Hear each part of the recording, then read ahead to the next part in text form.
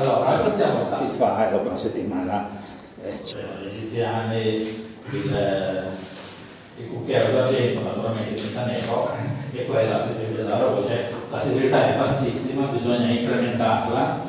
Eh, Niels ha avuto la prima intuizione che la prima forma di incrementare la sensibilità della luce è la- il vapore di iodio. Quindi iodio e argento, il ioduro d'argento è già molto più sensibile alla luce. Quindi la prima, la prima fase si tratterà di ehm, esporre, se, se le deve fare, insomma. In pratica c'è, adesso si trovano fortu- fortunatamente queste, queste bacinelle, io mi, sono procurando, perché non è che sia semplicissimo trovarli questi, costano, quello che fino ho fatto questo, questo qui lo fa, no, qualcuno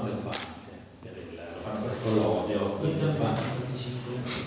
Quello lo voglio fare potesse quello che ha preso piede veramente è stato il, il bromo.